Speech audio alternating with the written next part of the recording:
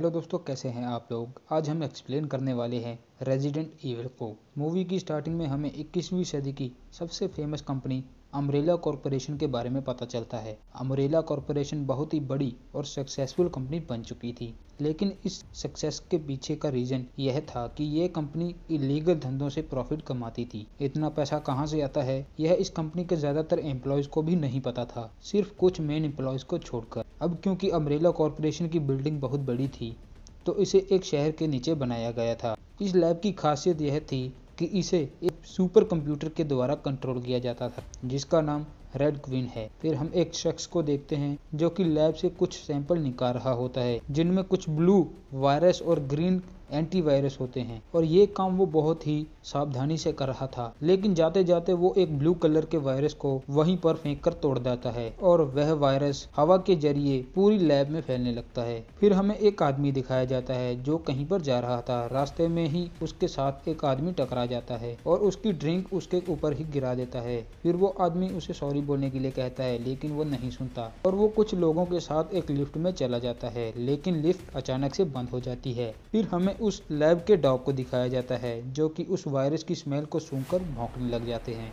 और फिर red queen को उस वायरस के बारे में पता चलता है कि वह वायरस हवा के ज़रिए पूरी लैब में फैल रहा था। तो रेड क्वीन एक अलार्म सेट करती है और पूरी लैब को सील कर देती है। सारे दरवाजे बंद हो जाते हैं और उन सभी लैब में पानी भरने लग जाता है, जिस पर एक औरत कैमरे की तरफ़ देखकर चिल्लाती है कि यहाँ कोई आग नहीं लगी है, पानी को बंद कर दो। लेकिन पानी बंद नहीं होता। एक एम्प्लॉय उसे आकर कहता है कि सारे डोर लॉक हो चुके हैं, हम यहाँ से नहीं निकल सकते। लेकिन हमें यहाँ जल्दी से निकलना होगा, नहीं तो हम यहीं पर मारे जाएँगे। तो दूसरा एम्प्लॉय वहाँ रखी कुल्हाड़ी लाकर शीशे के ऊपर मारने लगता है। अब हमें लिफ्ट का सीन दिखाया जाता है, जहाँ से एक लड़की बाहर आना चाहती है, लेकिन रेड क्वीन लिफ्ट की ब्रेक को फेल कर देती है और उसे मार डालती है। सीन चेंज होता है और हमें एक लड़की दिखाई जाती है, जिसका नाम एलिस है और उसे कुछ भी याद नहीं होता कि वो कौन है और कहाँ पर है, क्योंकि उसकी याददाश्त चली गई थी, जिस वजह से उसे कुछ भी याद नहीं होता, जिसके बाद वह उस जगह को चेक करने लगती है। तो उसे एक लॉकर में गन दिखाई देती है और वह दूसरे कमरे में आती है जहाँ उसे एक पिक्चर दिखाई देती है, जो कि एलिस की शादी की पिक्चर थी। लेकिन उसे याद नहीं होता कि उसकी शादी कब हुई है। तभी उसे किसी के यहाँ होने का एहसास होता है, और तभी एक आदमी वहाँ आता है जिसका नाम मैट था। और मैट कहता है कि मैं एक पुलिस वाला हूँ और मैं तुम्हें यहाँ पर बचाने आया हूँ। इतनी देर में कुछ और सोल्जर वहाँ पर आ जाते हैं और वो इन दोनों को पकड़ लेते हैं। उन्हें पकड़कर अमरेला कॉरपोरेशन की ट्रेन में ले जाते हैं, जहाँ उन्हें एक और आदमी बेहोश मिलता है, जिसका नाम स्पेंस था। लेकिन उसे भी कुछ याद नहीं आ रहा होता, जैसे कि एलिस को कुछ भी याद नहीं था। और स्पेंस वही इंसान है जो एलिस के साथ उसकी वेडिंग पिक्चर में था। स्पेंस को देखकर एलिस को कुछ विजन आ रहे होते हैं, जो कि उसकी वेडिंग के विजन थे। वो लैब में पहुँच चुके हैं। एलिस सीनियर सोल्जर को गन पॉइंट पर लेकर पूछती है कि आखिर यहाँ पर चल क्या रहा है। वह सोल्जर कहता है कि तुम्हारी कोई शादी नहीं हुई है। वह शादी फेक है, जो कि सिर्फ़ लोगों को दिखाने के लिए है, ताकि किसी को भी यह पता न चले तुम लोग का काम वहाँ की रक्षा करना था। कोई एलिस को यह भी बताता है ने तुम्हें जहाँ से पकड़ा था, वहाँ से हम अम्ब्रेला कॉरपोरेशन की लैब में एक ट्रेन से आए हैं। अम्ब्रेला कॉरपोरेशन की लैब को चलाने वाले सुपर कंप्यूटर रेड क्वीन ने वहाँ के सारे एम्प्लॉय को मार डाला और अब हमें वहाँ जाकर रेड क्वीन को बंद करना होगा। अब वो एक अजीब सी जगह पर पहुँच जाते हैं, जहाँ वह सीनियर सोल्जर कहता है कि इस जगह को अच्छे से चेक करो, क्योंकि यह जगह उनके बनाए मैप में नहीं थी। रेड क्वीन भी उन्हें देख रही होती है, जिसे कि उनके यहाँ आने का मकसद पता होता है। उनके साथ एक हैकिंग ऑफिसर भी होता है, जो एक दरवाजे को हैक करके उसका लॉक खोल देता है, और वह उस दरवाजे के अंदर जाते हैं। वह दरवाज़ा अपने आप ही बंद हो जाता है, जिस पर एक सोल्जर कहता है कि दरवाज़ा रेड क्वीन ने बंद कर दिया है। लेकिन वो लोग आगे बढ़ जाते हैं, और आखिरकार वह रेड क्वीन के कमरे पहुँच जाते हैं। वो ऑफिसर उस कमरे लॉक हैक करके खोल देता है। कुछ ऑफिसर रेड क्वीन को बंद करने के लिए उसके कमरे की ओर बढ़ने लग जाते हैं, लेकिन उनका दरवाज़ा अपने आप ही लॉक हो जाता है। एलिस और वह हैकिंग ऑफिसर उस दरवाजे को खोलने की कोशिश कर रहे होते हैं, जिस पर एलिस कहती है कि जल्दी करो, वह लोग खतरे में हैं। लेकिन रेड क्वीन उस कमरे के सिक्योरिटी सिस्टम को ऑन कर देती है। इस वजह से वहाँ के लेज़र वेपन एक्टिवेट हो जाते हैं और वो एक एक करके उन सोल्जर्स को मारने लगते हैं। इस कारण एक सोल्जर का सिर कट जाता है और एक सोल्जर बीच से ही काट दिया जाता है, जिसे एलिस भी देख रही होती है और वो जल्दी से दरवाज़ा खोलने के लिए कहती है। लेकिन वह लेजर वेपन आखिरी बचे सीनियर सोल्जर की ओर बढ़ रही होती है। जिस दौरान वह लेजर का शेप चेंज कर लेती है और उस सीनियर सोल्जर को कई टुकड़ों में काट देती है और वो सारे सोल्जर वहीं पर मारे जाते हैं। तरफ़ वो हैकिंग ऑफिसर उस लेजर वेपन को बंद करने में कामयाब हो जाता है, लेकिन अब इसका कोई फ़ायदा नहीं था, क्योंकि वह सारे सोल्जर मारे गए थे। एलिस और वह सोल्जर फैसला करते हैं कि वह खुद जाकर रेड क्वीन को बंद करेंगे। क्वीन के कमरे में जाकर उसे बंद करने का प्रोसीजर शुरू कर देते हैं। जिस दौरान रेड क्वीन का होलोग्राम एक बच्ची के रूप में उनके सामने आता है और वह उन्हें खुद को बंद न करने के लिए कहता है और कहती है कि अगर तुमने मुझे बंद किया तो इलेक्ट्रिसिटी बंद हो जाएगी।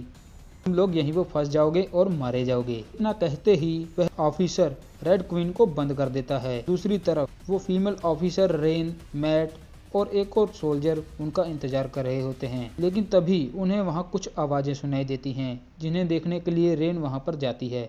वहाँ उन्हें कंपनी की एक एम्प्लॉय मिलती है, जो कि डोर ओपन होने की वजह से बाहर आ चुकी थी। रेन उसे देखकर उसके पास जाती है, लेकिन रेन को नहीं पता होता कि अब वो उस वायरस के कारण जोम्बी बन चुकी है और वो रेन पर हमला कर देती है, जिसके बाद वह उसके हाथ पर काट लेती है। रेन चिल्लाकर अपने साथी को बुलाती है और दूसरा ऑफिसर आकर उसे बचाता है।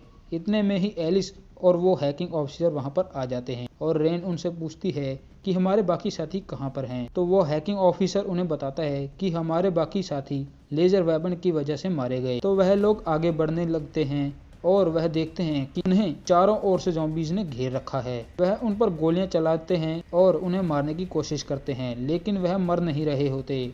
उन्हें कुछ भी समझ नहीं आ रहा होता कि यह लोग मर क्यों नहीं रहे।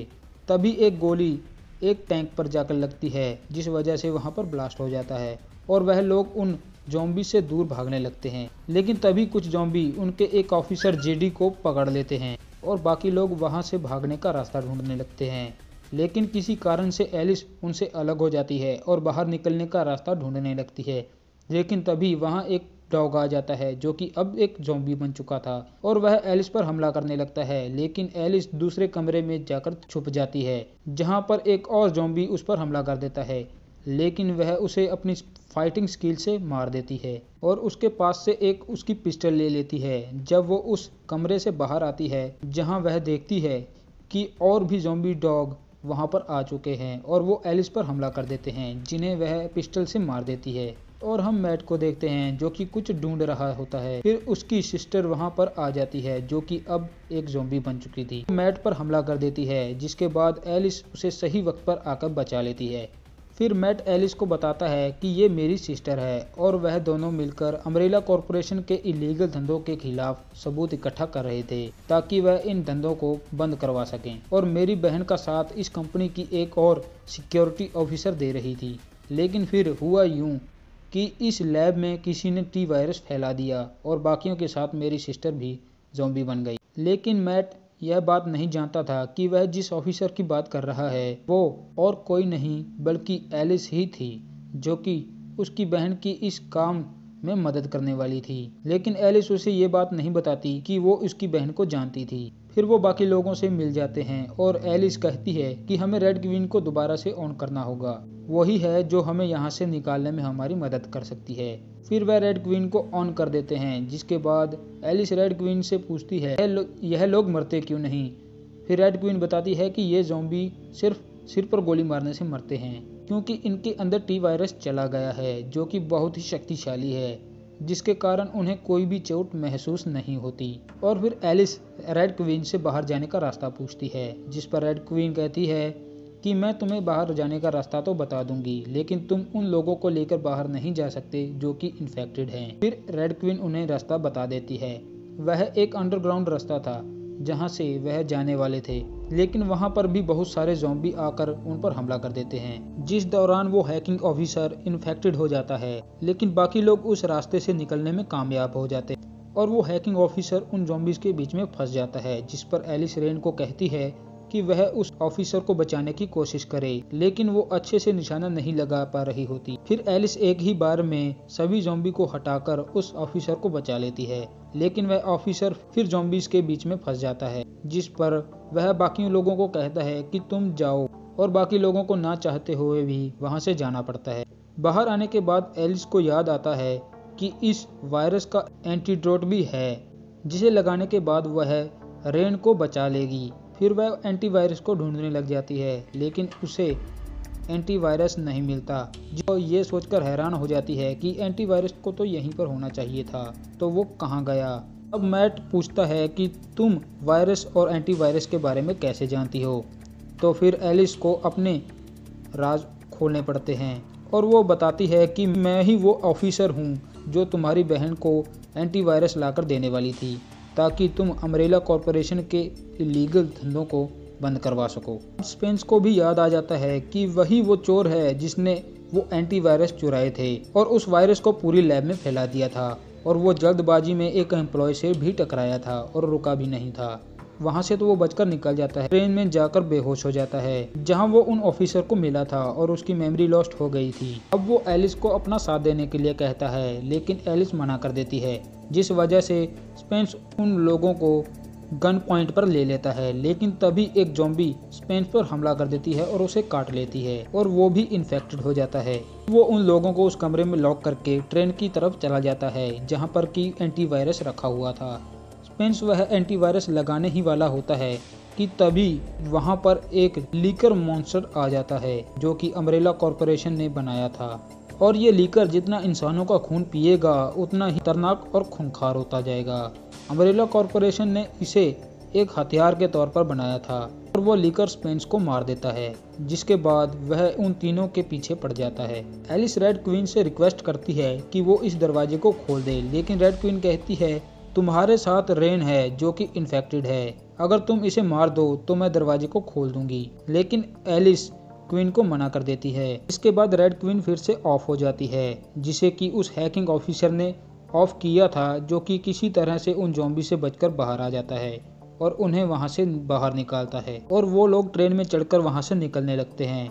एलिस रेन और उस हैकिंग ऑफिसर को एंटीवायरस लगाती है, लेकिन वह क्रीचर उनका पीछा करते करते ट्रेन पर भी आ जाता है और मैट को अपने पंजों से घायल कर देता है और फिर वो उस हैकिंग ऑफिसर को मार देता है। फिर हम देखते हैं कि रेन भी जोम्बी बन गई थी, क्योंकि एंटीवायरस को लगाने में बहुत देर हो चुकी थी, और वह मैट पर हमला कर देती है, और मैट उसे सिर पर गोली मारकर मार देता है।